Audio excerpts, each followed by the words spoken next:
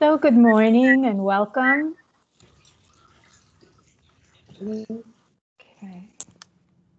Today, um, Father Jabino um, is unable to join us, um, but he has asked me to facilitate this gathering of the parishes in Deanery 10 from Brooklyn.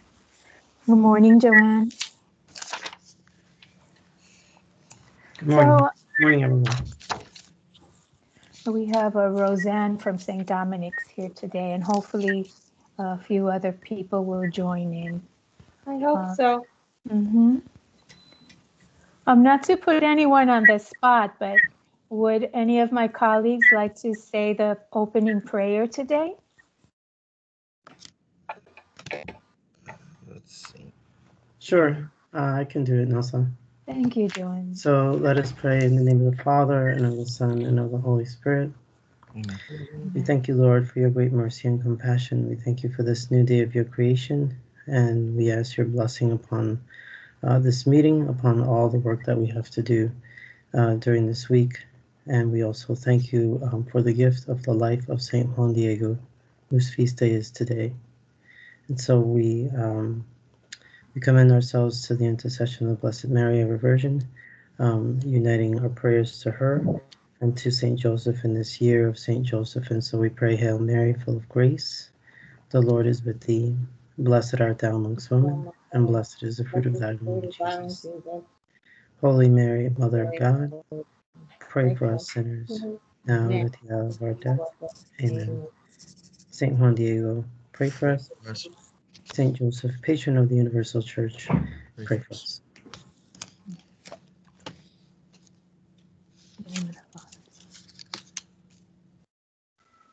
Thank you, Joanne, for that. And um, it's incredible how we're almost in the middle of December. it's crazy. So, um, welcome to everyone. We're holding these meetings to more than anything to be a support for all our directors and coordinators of religious education in the parishes and also to give you some updates of things that we're working on here in, in the Secretariat for Evangelization and Catechesis. So um, I'd like to um, start by giving in um, some updates. Christian, would you like to fill us in on what's happening in your ministry area? Sure. Uh, thank you, Nelsa. So, uh, just to um, to bring about that, we on our YouTube channel we have our um, family catechesis uh, training through RCL Benzinger and Loyola Press. So, you know that um, Bishop has mandated that um, every parish that has a religious ed program is supposed to use either um, RCL Benzinger's Family Life program, grades five through eight, or they can use Loyola Press's Growing with God. And okay, um, and with um, with those two programs, uh, they all have a, a digital component that can be adapted into uh, remote learning.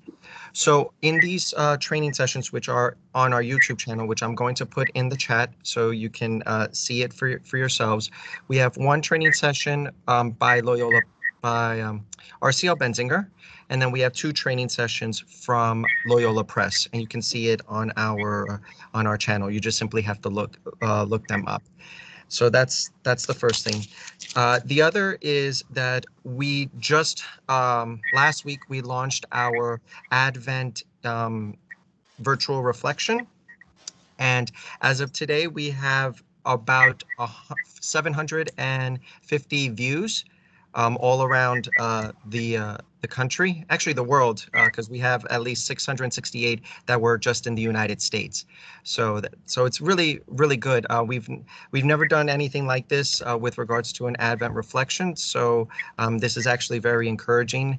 Uh, so I ask you um, if you do have the time to please share the information of where uh, uh, to watch the uh, Advent reflection and uh, to participate in uh, um, in the reflections as well. There's mass, there's homilies in different languages. We have presentations, and then we also have a, a multilingual rosary holy hour.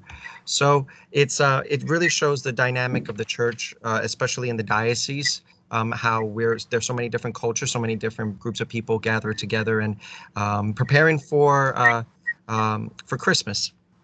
So um, as I've mentioned before, um, we do have a YouTube channel that I am asking all the DREs and catechists to subscribe to. Um, so when you go to the channel, just click on the subscribe button, but also to click on the bell to get all the notifications when we put up a new video or a new training or or have you like that. So you have everything there um, as soon as uh, we release something or premiere something. Uh, the other thing too is that we have a new Facebook page and I'm going to put the link in the chat as well. Uh, please uh, do like the page um, and so you can get notifications uh, on that as well. And um, I don't know is uh, if Lucia's in, um, in, no, she's not at this meeting. So I'll just mention that uh, there we uh, we just had a diocesan youth day um, that was all virtual as well. And um, if you if you can share that with your youth and young adults, I'll put that also um, in the chat as well. So uh, thank you so much, Nelsa. Thank you, Christian. Joanne, would you like to give us some updates from your area of ministry, please? Sure. Uh, so good morning again. Um, it's great to have you here. Um, so uh, we have wrapped up uh, with our semester with the Holy Spirit Institute. So things are going well there. Thanks be to God. It's been a challenge for everyone to do things virtually, but people are getting slowly more used to it. Um, we are accepting new applications, and so anyone who's interested in the Holy Spirit Institute um, for the new year, classes would begin in September of the following year, so September 2021 you can go to BQ Online and you'll see the icon for the Holy Spirit Institute, and they can choose uh, either English or Spanish, the application online, and just fill it all out. Um, and then we'll be more than happy to contact them and help them uh, in their discernment. Um, right now, uh, we are looking at um, hoping to have uh, the rite of election, um, which would be that first Sunday in Lent. Um, we're on a day-to-day basis in the office, so we just uh, are doing the best that we can. Normally, I would have sent out all the forms already, um, but they might not go out until next week. And really, what we're looking for is those people who have already completed um, eight liturgical, you know, seasons. So, as you know, Bishop DiMarzio um, has always wanted us to make sure that people are having one full liturgical year. Um, and we're speaking about people who are not baptized, so they're receiving all three um, sacraments. Uh, so if they have not been in that process for the entire year, then they really shouldn't be on the form to be entering into for the rite of election. Um, different parishes do different things. Um, and I've always said it's a discernment process. So if you have someone who has always been going to Mass on Sunday and just never got around to becoming Catholic, different. You know what I mean? But we're, we're asking that those people who really had absolutely no knowledge of the faith, nothing, they came, you know, just seeking um, to become Catholic and never knew anything about Christ prior to that, that they, they should go through the whole liturgical year um, one full year. So from Advent to Advent, and then after that second Advent, they would enter into, you know, the they would come to the rite of election. Um, so more information is forthcoming. As you know, we our numbers are rising, our percentages are rising in New York. Um, so we want to be prudent, but at the same time, uh, we're just going to try and see what happens.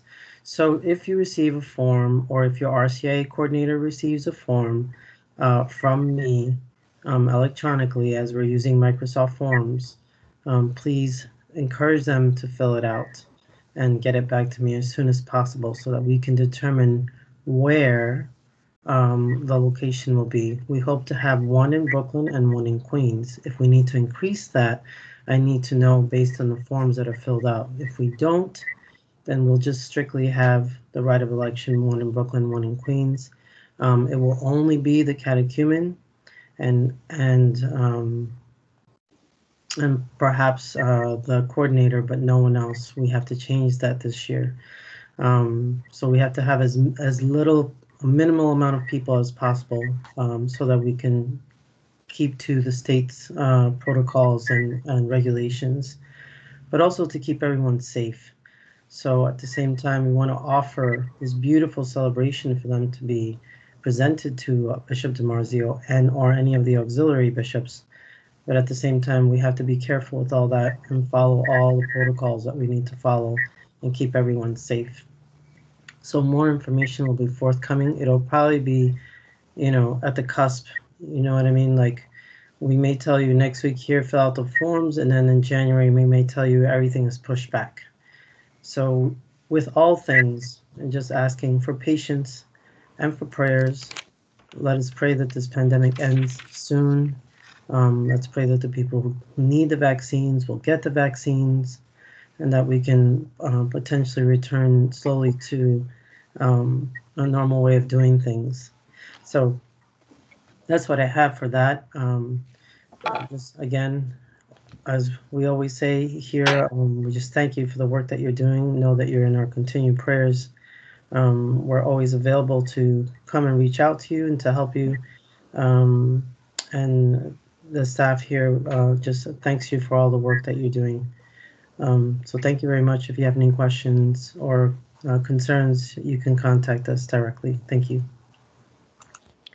Thank you, Joanne. Um, if you could just um, talk about getting credit from Living and Leading by Faith for um, anyone that watches the Advent Reflection. I don't think that was discussed. Sure, sure, uh, thank you. Um, so when you go to watch the Advent Reflection on YouTube, um, there's that little drop down arrow, and um, you'll see there the link to fill out uh, the the survey that we have there.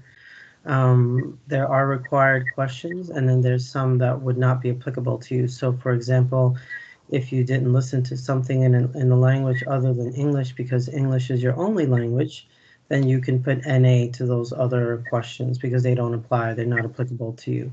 Um, but uh, yes, answer the questions that are applicable. Um, we encourage you to have this beautiful um, spiritual experience. And then we're more than happy then, excuse me, to give uh, credit for for um, for watching and participating virtually in the Advent Reflection. Uh, we also encourage you to give us your um, suggestions for the Lenten Reflection and any other future virtual events uh, that we are, are, going to hopefully put on soon. Um, so anything that you could help us with that will be helpful to you uh, would be great for us. Um, we can't honor everything, but we take all your suggestions into great consideration. So thank you very much. Thank you, Joanne. Um, Christine, do you have any updates about the iPads, please? Uh, the iPads have started to be distributed to parishes. Many parishes have already received them as I get updates, I update the parishes as to, you know, if something is missing or if the devices are en route. Um, I would appreciate an email just letting me know you received them if you did.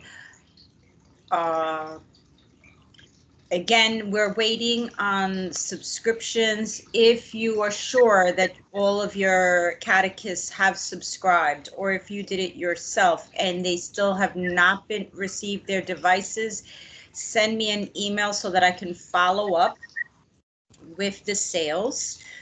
Um, patience is needed because there is a very, very large um, request for devices, not only from the state of New York or DeSales, but across the country. Schools are needing them, and unfortunately, our parish schools are kind of falling in between. Uh, falling in between the cracks and we're getting them in a much slower rate than we would have liked. only the devices for parishes that has signed up in June are being honored at this moment. If you were on a wait list and were approved by Father Joe at the time of, say, August, September, you're good. If you find out now that you need devices, I could put you on a wait list, but there is no guarantee that you will be able to get those devices. And any parish that has decided not to have a parish program is not eligible for the devices. Any DRE pastor or deacon is not eligible for devices. Those were given in a previous grant um, for the pastors and the DREs. The deacons were not included in a grant, but we are working to try to get deacons approved for a grant in the future if possible. Um, right now, because of the demand in laptops and iPads, it's they're slowly being made, so they're slowly coming coming to us, which means it's going to slowly get to you. Uh, and that's pretty much it. I've been handling everybody on a one-on-one basis. I think it's easier that way. So if you have a concern or a question or you know need an update, you can email me. If you know that your catechists have not paid for the subscriptions, there is nothing I can do until that part of the agreement is made. But once the subscriptions are done, if they know, that, oh, well, they're getting their tablet delivered at home and they still don't have the, the iPad, then yes, email me so that I can find out why the iPad hasn't been released if the subscription is being fulfilled. That's it. Thank you, Christine. Now I have a few um, reminders, updates. One is if you um, haven't completed the current catechist report, which is found on the diocesan portal, please do so. A handful of people haven't complied with that yet, and it was due at the end of October. So please, please, please complete that as soon as possible. The bishop requires that information, and the Office of Safe Environments. Uh, we need to um, ensure that all people, volunteers, catechists working with children, even remotely, have been vetted through the um, Virtus training program. So please comply with that. And I'd like you to, re, to remind you that also the Child Lures presentation should be offered to the children and teens virtually. And that report, the compliance report, is due at the end of February.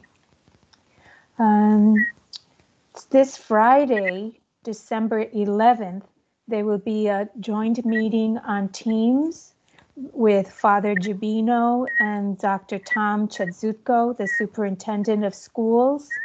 Um, all of you, all catechetical leaders, should have received the Teams invite a couple of weeks ago, I believe it was. And um, so please be sure to tune in to join in this meeting, which will have to do with um, how is it that we can um, better collaborate between the schools department and the um, catechetical leaders, all of us working together towards helping children encounter our Lord Jesus Christ. So this would be a very important meeting to attend. Um, also, keep on your radar, save the date, March 9th, 2021. More info to come. Uh, Sadlier, who has always been uh, supportive of the diocese, will be offering a webinar um, specifically on how to help, how to be a witness and how to help children encounter Christ. So that's uh, something exciting to look forward to. Um, okay, I think I covered everything. So now, um, Roseanne, are you still there? Because Yeah, we'd like to I'm- know how things are going from your perspective. Like, what are the high points? Can you share any good news with us? Um, with the school, everything is going very well with the school, I must say. Um, the children When you say very, school, excuse me, when you say school, you mean your religious? the religious. Okay. yeah, the CCD. Um, the children, what I've noticed with the Zooming, the children are very focused. and they're doing very well because there's no distractions.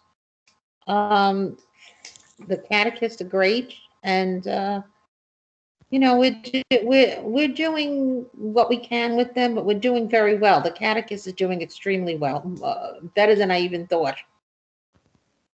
That's what's going on with us, and uh, we're consistent.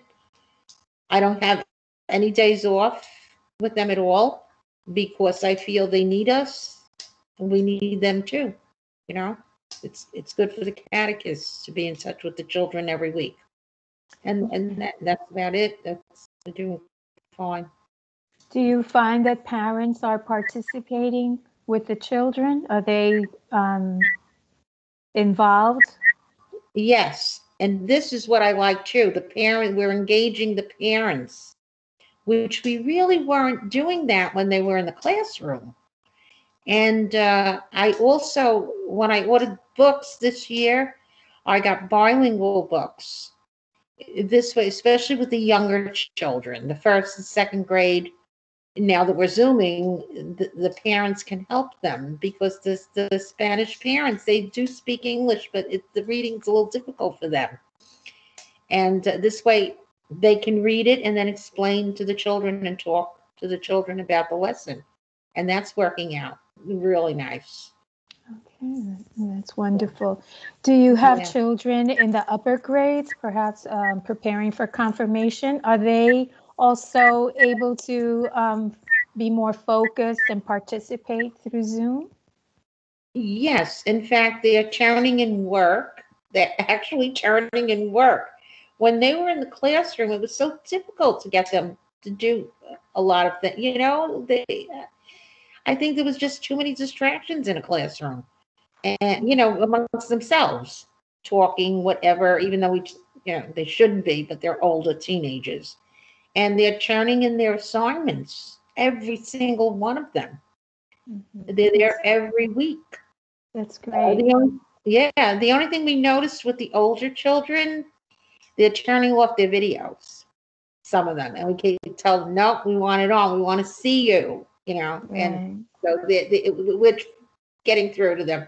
You know what it is? They've been getting uh, mis- mixed signals because the public schools let them turn the video off. Mhm. So we had to get through to them. No, we're not the public school. We want it on. We want to see you. So Mhm. that so that's working out a lot better now. But they're teenagers. This is what they do. I was wondering if that was going to be the case because other catechists, other DREs have said how that's a challenge getting the older kids put on the video. But in Yeah. previous meetings, um, a few people have suggested that by letting them turn turn on the video at the beginning of the gathering and then at the end, at least, so that Yeah. the catechist knows well the person is still there as long Yeah. as he or she is participating because it is part of their developmental stage. They feel so Sure. self-conscious. So, um, you know, But- those are some ideas that were thrown out. Uh, at It- They're coming along. They're they're for the most part they they all have it on now. Mhm. We finally got through to them. Um, and what I also noticed, see, they have my phone number too, and the parents call me a lot, just to, ju- sometimes just to talk. Nothing, you know, just how's everything going and. It's interesting. I'm finding this very interesting. And some of the children, the older children, sometimes call from time to time if they need help with something. You know, an assignment, I'll help them. And um, yeah, and my teachers too, they'll call and the older ones and they'll help them too, the catechists. So that that's good. Okay, yes, just make sure if a student calls you or the catechist that the parent is on the phone or is aware because we have to be very careful with the safe environment protocol. We don't want to uh, um, do anything that might be seen seen Yeah, as improper. absolutely right. And what I do is I ask if uh, their mother is there and I do talk to the mother. Okay, good. and a couple of occasions that had happened, not all the time, you know. Mhm. But I did speak to the mother and I'd say, oh, your son just called, he, or the- your daughter called, she needs help with this, that. Oh, yeah, yeah, I'll put them back on, so they know. Good, good. No, That's very excellent. with that. Yes, and during this time, I think that it has allowed um, all of us catechetical leaders to minister more closely to the parents, um, which is the ideal scenario. But time is always, you know, a limit, limited, or they parents themselves don't make themselves available. But I'm hearing um, from all of you that now you're able to be in touch more with parents, speak to them, and that's a, a very important aspect of the catechetical ministry, supporting parents and um, the families. So thank you so much that you, you know, for doing that. It's very important. They, and they all have, every single parent has my phone number, my, my both numbers, my home number and my cell number. So That's I can be available anytime. I will never let a parent wait Mhm. for a, a call back. And I, I always tell them, if they're waiting, it's only because I'm driving and I won't answer the phone. Otherwise, Sure, sure. Yeah. I'm That's wonderful, Roseanne. Yeah. Yeah, it's very important that we minister to yeah. the whole family, especially now. A lot of families are are don't feel safe to go to mass, or they have, um, you know, physical conditions that impede them from assisting, you know, in person at mass. So those that contact that you have with them is really important, and it's not just you, but you are representing the church, Yeah. and it means a lot. Sometimes, sometimes I, I, I offer also to go to them if they want communion.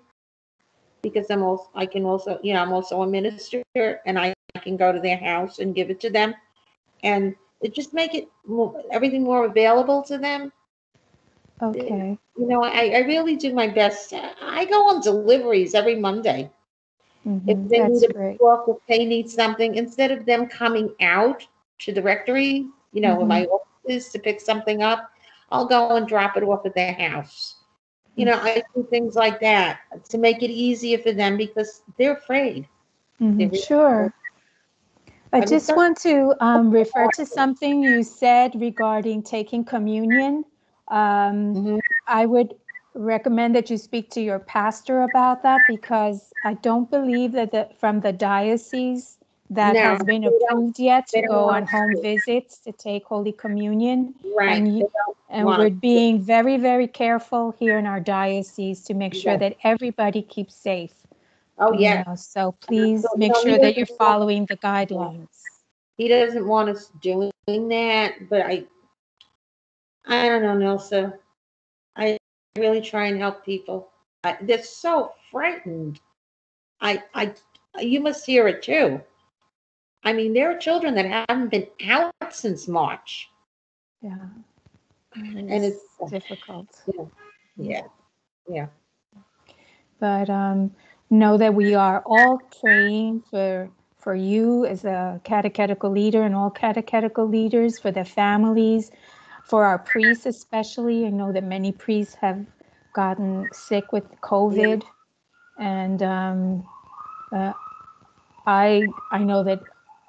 Well, I think I speak for all of us. We're all very concerned about everyone who's out there and and in ministering closely to our faithful here in the diocese and praying that no one gets sick and that you know we get through this soon that we get those uh, uh, vaccines in the hands of the you know the doctors to to keep them safe and those that are more at risk can be vaccinated as soon as possible and that we can get through this difficult time with more faith hopefully with more faith that that God is here with us even during this difficult time. It's not easy for anybody. I i know i speak for everybody here.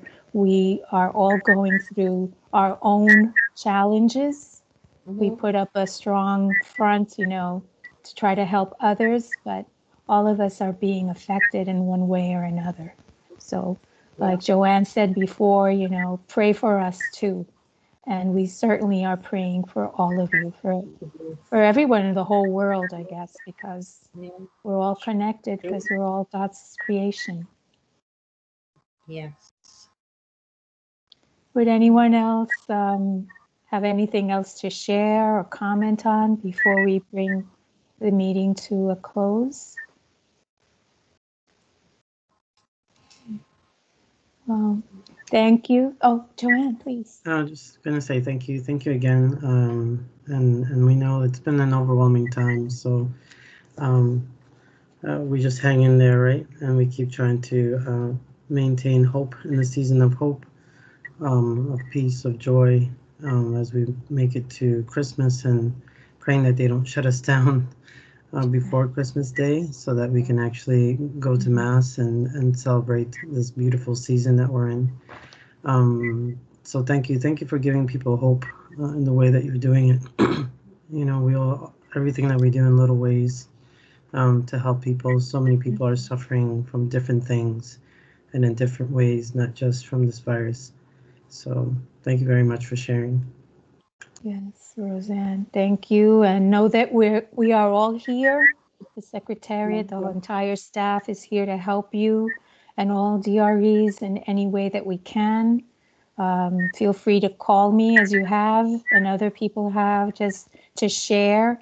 It's just like those parents reach out to you because they need to talk to someone. We're here for you too. We care about all all our leaders and catechists. So I think that maybe this, you know, there's so many silver linings in all of this. And I personally feel that I'm able to meet, to get to know all of you much better in a more personal way. And that's definitely beautiful and a much needed thing in ministry. So thank you all that reach out to me and um, to all of us here in this secretariat. God bless you. Continue with that beautiful smile and um, bringing message of hope and courage and guiding your catechist through this difficult time. So God bless everyone, my colleagues. I miss you. And um, God bless you. And we'll